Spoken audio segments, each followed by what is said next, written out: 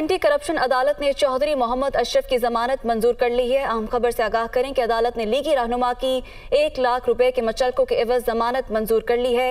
Anti corruption अदालत ने चौधरी मोहम्मद अशरफ की जमानत मंजूर कर ली है। इसी बारे मजीद जानेंगे अपने नुमाइंदे मोहम्मद इशफाक से। जिशफाक आगाह कीजिएगा। जी बिल्कुल, लाहौर की एंटी करप्शन अदालत ने मुस्लिम लीग नून के रहनुमा और M N A Chaudhry Mohammad Ashraf की दरख्वास्त जमानत मंजूर एक लाख रुपए के जमानती मुचलकों के एवज रिहा करने के अहकाम जारी कर दिए मुलजिम की जानब से मियाँ जहांगीर और चौधरी गुफारुल हक एडवोकेट ने दलाइल देते हुए ये मौकफ इख्तियार किया था कि एंटी करप्शन ने सियासी बुनियादों पर मुकदमे में गिरफ़्तार किया। तफ्तीश मुकम्मल हो चुकी है और इसी बुनियाद पर जो चौधरी अशरफ है, इनको जमानत पर रिहा किया जाए।